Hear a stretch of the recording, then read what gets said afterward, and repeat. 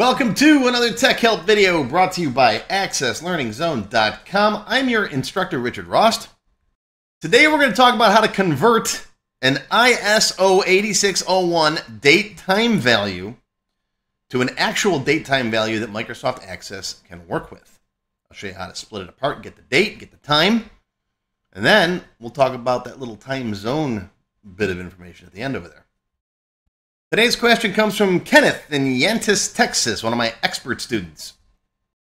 Kenneth says, I import Amazon Kindle data to get a list of books that I have. The fields for dates come in with all those numbers and such that are never needed. Is there a way of formatting that data to just show the proper date? Well, Kenneth, all those other numbers, you got the date over here, right? Then the T stands for there's your time. And then the stuff on the end over here is your time zone information. So, for example, this 0000 indicates it's UTC, Universal Time, otherwise known as Greenwich Time. And if you were in, let's say, Eastern Standard Time, this would be minus 0500 for minus five hours behind UTC. So, in order to convert this into a date time that Access can work with, we're going to use some different functions. Let's talk about the prerequisites for today's video. First up, since Kenneth is an expert student, we're going to keep this at the expert level today, which means there's no VBA required. Now, if you're not familiar with ISO dates, I'm on a mission to convert the whole world over to the ISO date format. It's the only one that makes sense around the world, right? Year, month, day. Okay? Um, so watch this video if you want to learn more about that. Watch this video to learn more about ISO dates specifically in Access. I also have one for Excel too if you want to watch that. Now, all my other videos so far have focused on just dates, but ISO also specifies some different time formats too, and we'll talk about that in today's class. You're also going to need to know how to make calculated fields in queries, how to use the different string functions like left, mid, right, and those things we're going to use date serial. That's where you can take a bunch of the components of a date, like the year, the month, and the day, and put them together into an actual valid access date.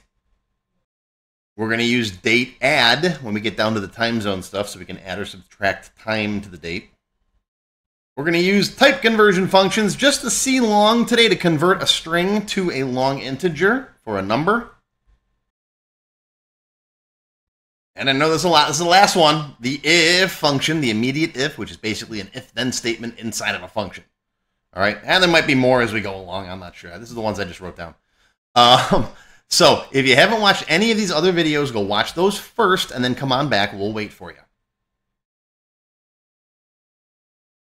All right. So when it comes to dates, it's pretty unanimous that the date format is YYYY-MM-DD, or you might see it without any separators, without any dashes. Like usually if, uh, you know, if, if you're uh, time stamping a file, you might name the file without dashes in it. But generally, the date is pretty uniform. The time, however, I've seen come in a variety of ways. So I asked ChatGPT, I'm like, is there an official standard? Basically, not really. Um, you got all these different official standards out here. Sometimes you'll have a T in there to, to differentiate the date from the time. Sometimes you won't. Sometimes there'll just be a space there. In any event, there's always something there. Okay? Um, you might have a Z on the end, which stands for Zulu time. All right? Zulu is basically another word for UTC, or Greenwich Mean Time. Okay? Sometimes you'll have plus and then a time like that for the time zone. Sometimes it'll just be four digits, which is what Kenneth got and there's other different variations down here. Basically, this is going to be a lesson in just you have to deal with what they give you. Usually, when you're doing an import, like if you look at Kenneth's data here, it's all uniform. So you just got to look at these rules and know how to deal with it. Okay? And this might be different between different data sources that you work with. I wish there was one just standard format that everyone used, but unfortunately, when it comes to the time part, there isn't. All right, so let's start out by setting up a table to store this data. So table design, I'll just call it an ID field, and then we'll make um, ISO date time our field. Now it's going to be a text field as it comes in. All right, in order to import this as it is from your data source with that T in there, you're going to have to import it as text, then we'll convert it.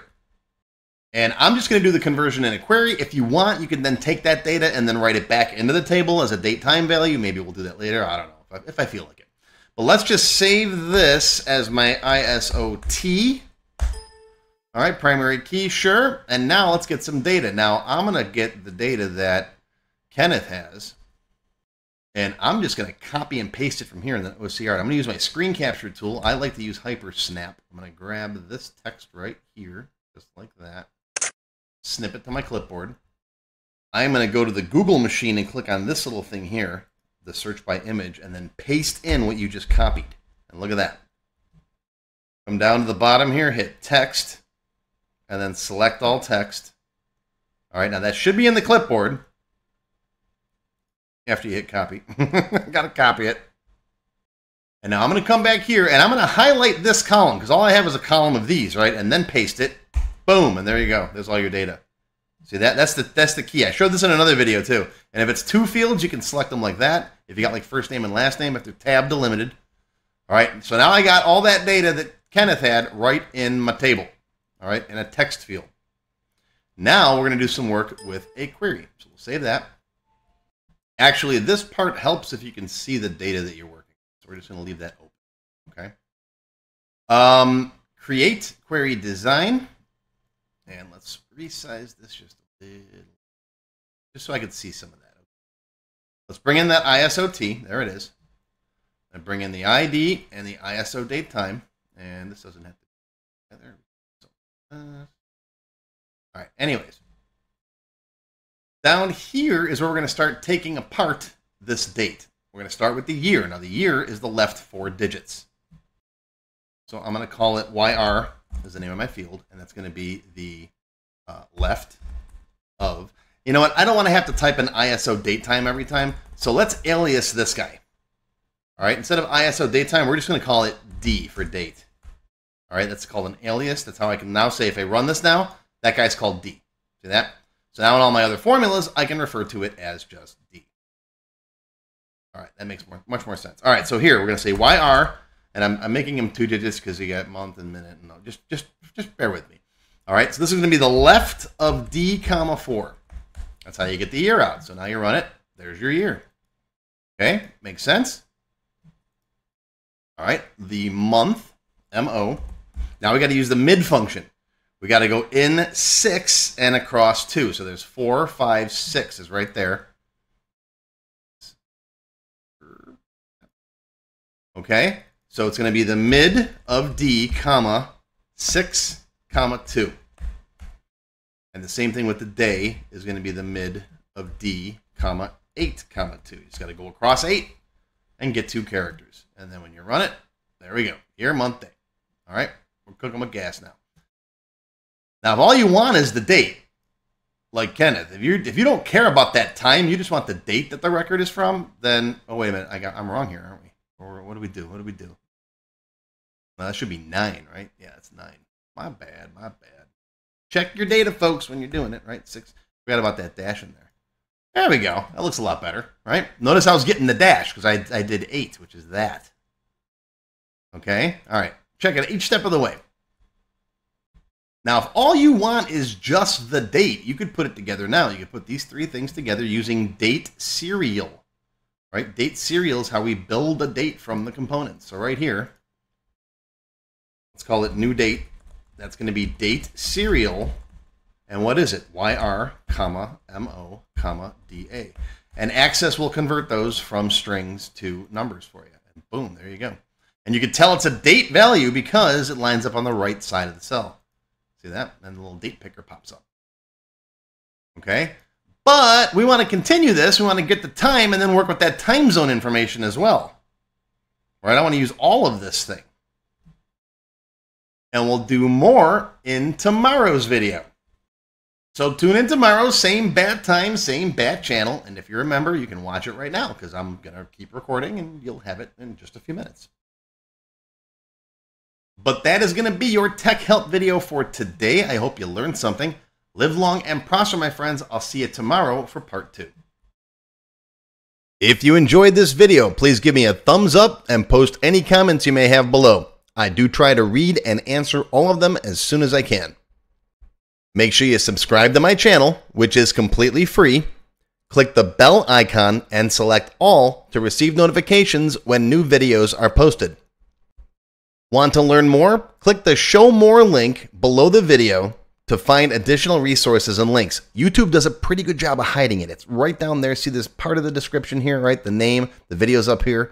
There's a little show more down there, right down the bottom. It's kind of hard to find. But once you click on that, you'll see a list of other videos, additional information related to the current topic, free lessons, and lots more. And YouTube no longer sends out email notifications when new videos are posted like they used to do. But if you'd like to get an email every time I post a new video, click on the link to join my mailing list. And you can pick how frequently to get emails from me, either as they happen daily, weekly, or monthly. Now, if you'd like to become a paid member of my channel and receive all kinds of awesome perks, click on the join button. You'll see a list of all the different membership levels that are available, each with its own special perks, including my extended cut videos, access to my code vault, lots of VBA source code in there, template downloads, and lots more. I'll talk more about these perks at the end of the video.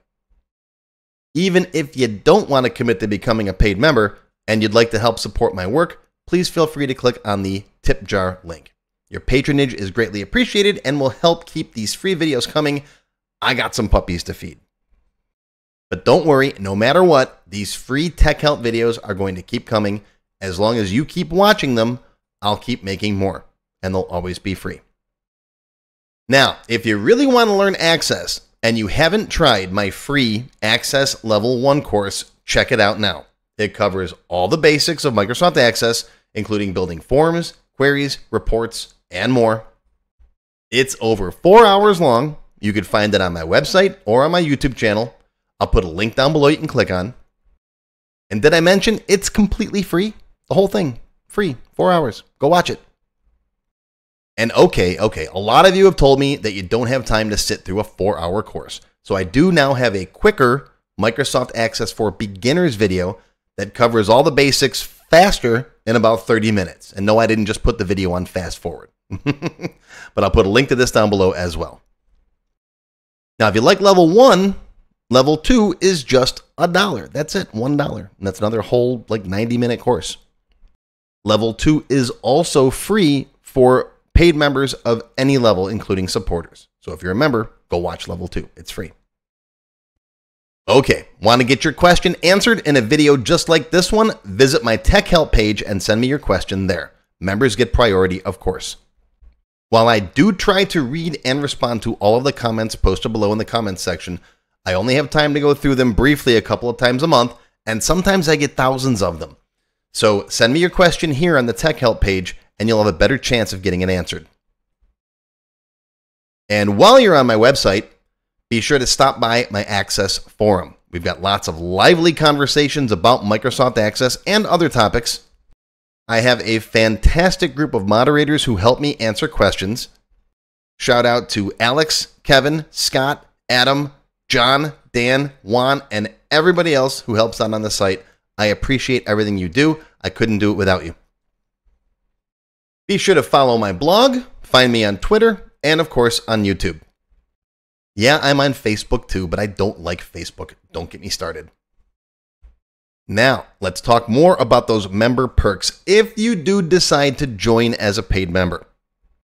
There are different levels silver, gold, platinum, and diamond. Silver members and up get access to all of my extended cut tech help videos, one free beginner class every month, and some other perks. Gold members get all the previous perks plus access to download the sample databases that I build in my tech help videos, plus access to my code vault where I keep tons of different functions that I use, the code that I build in most of the videos. You'll also get higher priority if you do submit any tech help questions. Now, answers are never guaranteed, but you do go higher in the list for me to read them. And if I like your question, you got a good chance of it being answered. You'll also get one free expert level class each month after you've finished the beginner series. Platinum members get all the previous perks plus even higher priority for tech help questions. You get access to all of my full beginner level courses for every subject, and I cover lots of different subjects like Word, Excel, VBA, ASP, lots of different stuff, not just Access. These are the full length courses found on my website. You get all the beginner ones. In addition, once you finish the expert classes, you get one free developer class per month. So lots of training. And finally, you can also become a diamond sponsor. You'll have your name or your company name listed on a sponsors page that will be shown on each video as long as you're a sponsor. You'll get a shout out in the video and a link to your website or product in the text below the video and on my website. So that's it. Once again, my name is Richard Rost. Thank you for watching this video brought to you by AccessLearningZone.com. I hope you enjoyed. I hope you learned something today. Live long and prosper, my friends. I'll see you again soon.